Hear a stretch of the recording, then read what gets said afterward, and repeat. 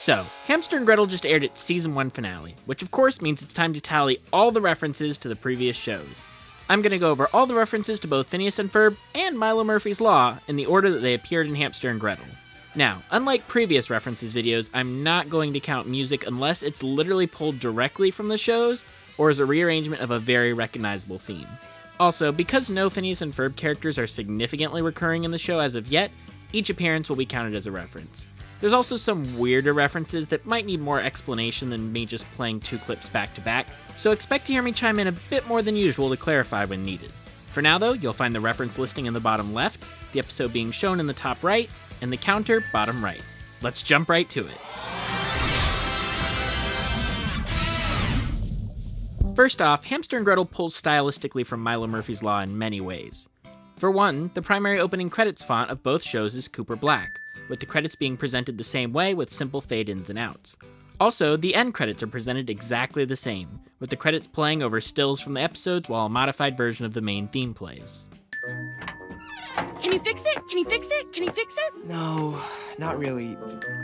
This is awful. What are we supposed to do now? Make a giant waffle. No jokes. This is Veronica Hill on the scene at Cliffside Park where a kitten has fallen in a well. In Hamster and Gretel, Cliffside Park is one of the first locations we see in the series, and used for many purposes, including the final action scene of the season.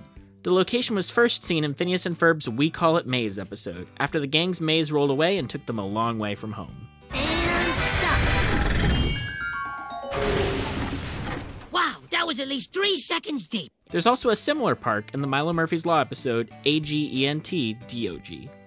Oh, what kind of park has a cliff? Hey! Here we have an ad for a fake Shrinkinator on the back of Kevin's Bullboy comic book.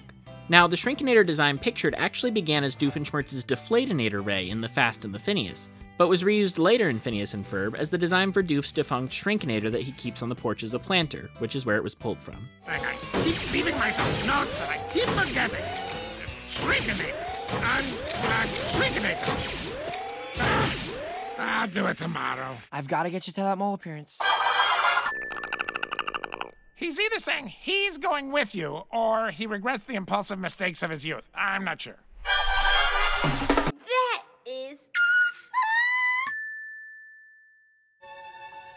You're my little sister. I mean, I know you got all these powers now, but I. It's my job to look out for you. I'm your big brother. Aw, Kevin, you're a great big brother. You've been looking out for me my whole life, but things are different now. We've got superpowers. Me and Hamster, we've got this. You're right. You need to open our gift. The gift! Oh, you were even trying to give me a gift and I wouldn't take it. I'm so horrible. Please, Candace, open it.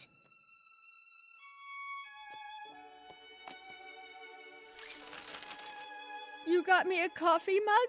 Robot punch!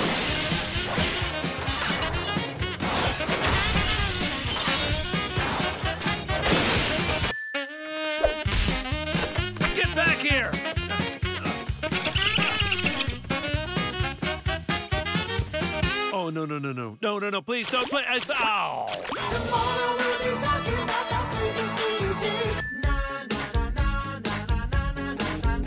The Fire Chief in Okie Dokie is a slightly modified design of Fire Chief Richard Chase, aka the dad of Melissa Chase from Milo Murphy's Law. However, here he's voiced by Dan Povenmire instead of Adrian Pasdar. It's a good thing it's been evacuated because it would take a miracle to put this fire out now. Well, Milo, you're the first person in history to ever start a fire with water. Thanks. Despite clearly just reusing an old design, I asked Dan about this on TikTok, and he responded that this is Richard's cousin who works in the next city over. So far, this is his only appearance in Hamster and Gretel. We've got four minutes before that meteor hits the Totally Tools building downtown. The company Totally Tools has a building in downtown. Wait, Hamster and Gretel City doesn't have a name? Well, no matter. Totally Tools is the company from the Phineas and Ferb episode Perry the Actopus that Perry briefly became the spokesanimal for. So I'm only going to count it once despite the locations surrounding it varying during its frequent appearances. This is my life. Meanwhile, elsewhere. Time to try something new. Cavendish rogue log. I said I want a burger. In Superhero Sibling Rivalry, we get a cameo from a Slushy Burger location. In Phineas and Ferb, Slushy Burger was part of the Slushy Dog chain where Jeremy, Candace's boyfriend, worked. While we never saw a Slushy Burger exactly like this in Phineas and Ferb, the location's design seems to be pulled from the Slushy Dog location seen here in the episode Giants, and seen again in Managing Murphy's Law, an episode of Milo Murphy's Law. Fast Racer Man, Worst Heroes of Stockton, England, but with dragons. Check this out. Aqua Primates. A primes, Ferb. The back of the box shows them crowning the queen, fighting robots, and designing websites. Ferb, we totally gotta get this. All right. Should we mingle or just wreck this place? Here, the context is a 70s themed high school dance. Fist Puncher and the Destructress show up and try to blend in, and their outfits look very similar to that of Dakota from Milo Murphy's Law. For further confirmation, this scene from Time Out seems to confirm that Dakota's outfit was also 70s inspired. Yes, and you get. High school theater costumes? It's all the past. We decided to go with the 70s. Yes, but one of you is from the 1970s and one from the 1870s. Really? Which one am I? Terror has struck as influencer dogs have been stolen from puppy cons all over the tri state area. Rabbits are lagomorphs, not rodents. Really? Dennis, the rogue agent, formerly our most wanted rodent. Lagomorph, sir. What's that, Carl? Sir, they used to be considered rodents, but were reclassified in the early 20th century. Oh, well, I'll have to fix that then.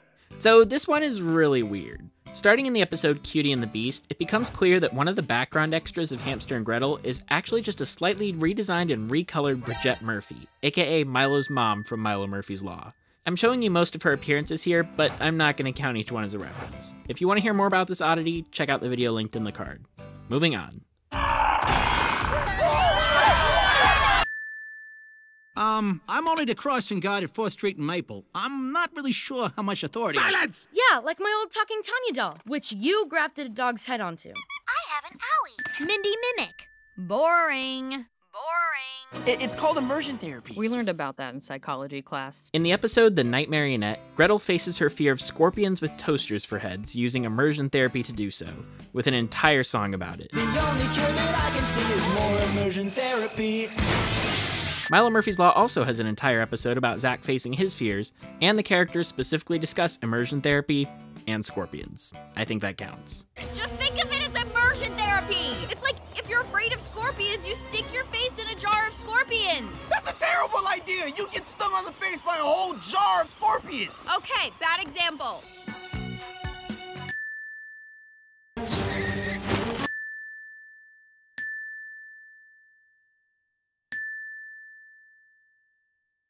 I'm a lemur and I love it and I'm standing on my toes. I'm a lemur and I love it and I'm standing on my toes. Meep! What you got there? Hey, this must be his father. Don't worry, Meep. We'll fix your ship and you'll be with your dad in no time. To be fair, all these alien sightings have turned out to be false alarms. The weather balloons, the drones. That oversized python that flew away in the wind. I'm not letting you get away again, you flat piece of trash! The darn wind took the python again! And I'm gonna use my powers to conquer the entire tribe. Oh, To summon the alien armada that will help me conquer the tri-state area! Gretel, you can lift a school bus over your head. Why do you need me to carry this? So I can make a grand entrance with my magnificent baking soda volcano. And if you're a fan of chemical reactions and say no more, I think we've got a baking soda volcano for your perusal. And if you want more, just take a look around and there are 34. Just as I was about to demonstrate my invention to the judges, a kid with a baking soda volcano stole the show. The next year, I tried again with my even bigger Anator. And again, my thunder was stolen by a baking soda volcano. I can't believe you built a mammoth theme park without anything that looks like a mammoth. I'm waiting for an apology. I can't believe you built a dragon theme park without anything that even looks like a dragon. And why haven't you gotten rid of that silly chicken coop?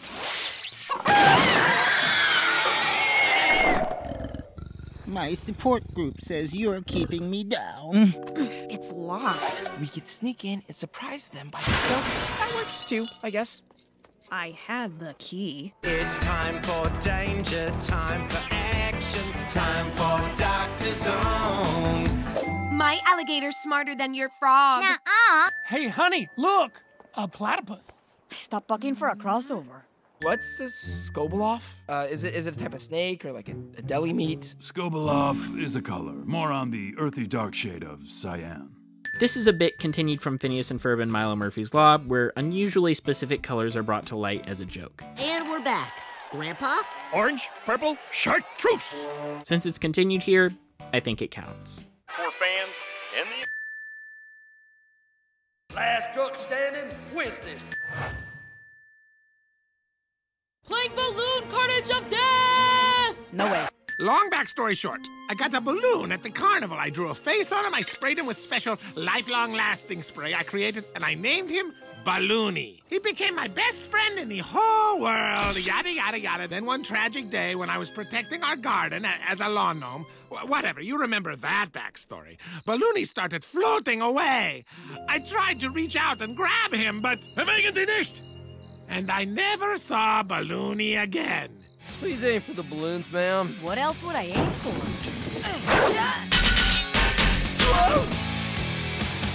Okay, I'm done. What about the flamethrower? The only flames I want are broiled on a chicken sandwich. Ooh, I'll take a turn.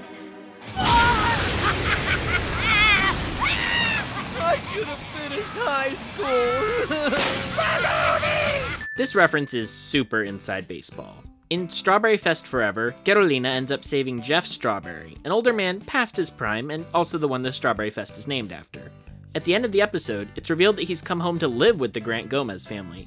They do a whole bit with the theme song for a fictional show called Uncle Stuntman, where Jeff lives in their garage and is also a genie. She saved his life with a mighty squeeze. Now he's like a member of the family. He's forever indebted. He won't let them forget it because he's living in their garage. And also, he's a genie. This is likely a reference to Doofenshmirtz becoming a part of the main cast in Milo Murphy's Law Season 2, during which he crashed on the Murphy's couch after his building was destroyed, much to the dismay of the Murphy family, who were forced to tolerate his unhelpful presence. Oh, hi, Neil from the comic shop. Oh, hi, everyone's here. Do you know an 11 letter word for something that's not important? How about unimportant? Let's say 8, 9, 10, 11. That's it! Excellent. I usually shower with my mouth open, things happen. It's lemonade. Oh, good, because I finished it. Okay, that's goodbye. Why is he living with us again? I don't know, it's convoluted. Everything about how the song is set up evokes the feeling of Doofenshmirtz in Milo Murphy's Law, which all leads to the punchline at the end. Yeah, we're not going to do that. I'll just show myself out. Oh no! What have you two done? She did it? I'll show myself out. Given the mixed response to Doof's inclusion in Milo Murphy's Law, this really seems like an indicator that the writers don't want to go that route again. Adding fuel to the fire, this is the same episode that has Doof's first ever cameo in Hamster and Gretel. Combined, I think these create a strong statement about how Hamster and Gretel is handling its cameos. At least for now. May the best man win. And the second best man end up in the polar bear exhibit.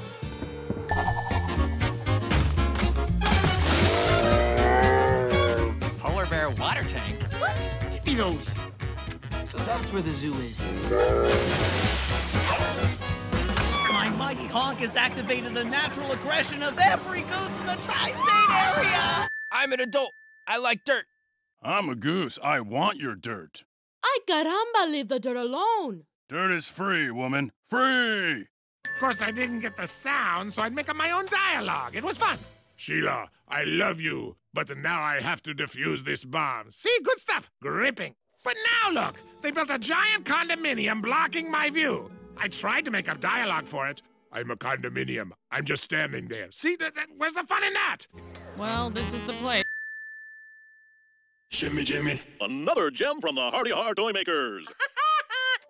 Wait a minute. This means that you are her. My Gretel is superhero Gretel. Hmm.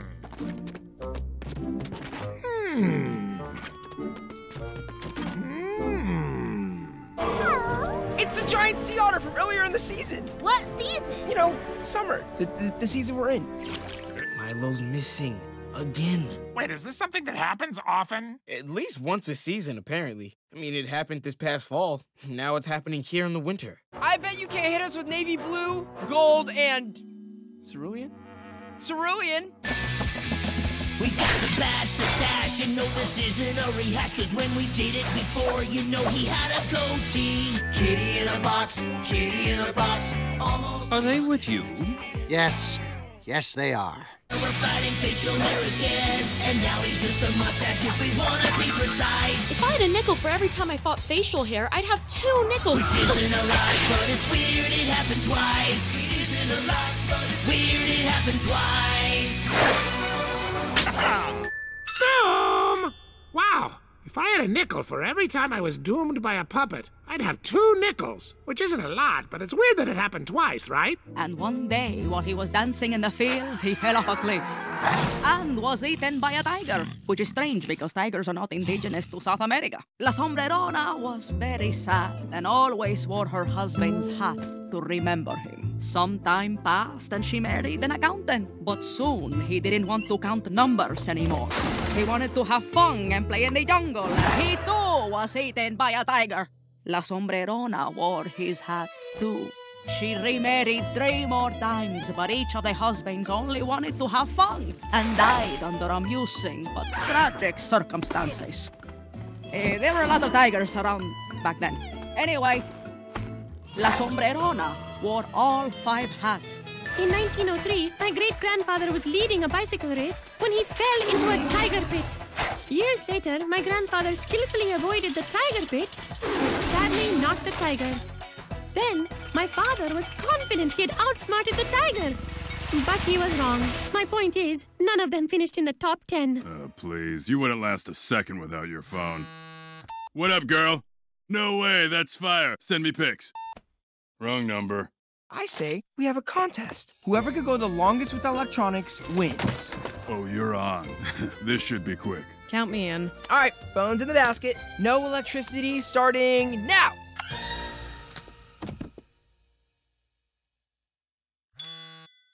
Wait, can we start again after I look at those pics? Get it? Sense? Actually, we have a question. So do I! have you ever seen this hat? Oh!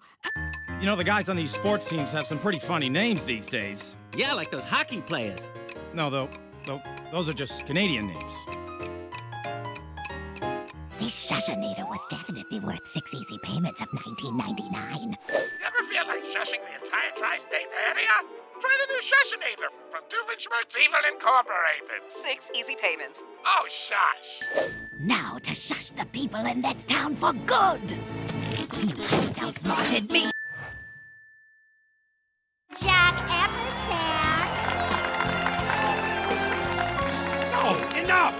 Don't even go by that name anymore. I've changed. I'm evil now. It's like my whole thing. Evil or not, you'll always be the nicest guy we know. The chosen one. The chosen one is in the house! Isn't she just the best? Yes, she is the best. So, I love the zoo. You want to know why? Because the zoo has liver and onions? Yep, the zoo has liver and onions. Liver and onions, yeah! Before you get to see liver and onions in their newly renovated habitat, I need a dedicated and trusty volunteer. Big Jen, the town's inexplicably beloved clock tower. Big Jen, we don't know why people love her. Big Jen, there's always traffic around her. Why? Big Jen, why does everybody trust her? Big Jen, we thought you'd want to see her one more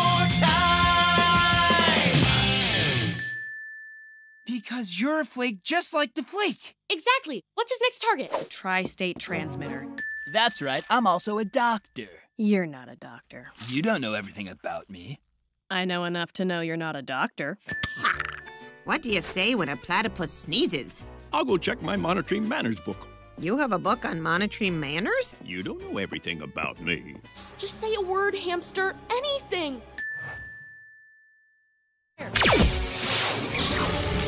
You guys are about to get. Wait, wait. Where's he going? I read Oh, it was set on reverse. That makes sense. I got it. Everyone, follow Diogee! Let me ask you two a question. If a tree falls in a forest and nobody's there to hear it, does it make a sound? Everyone knows the tree does make a sound.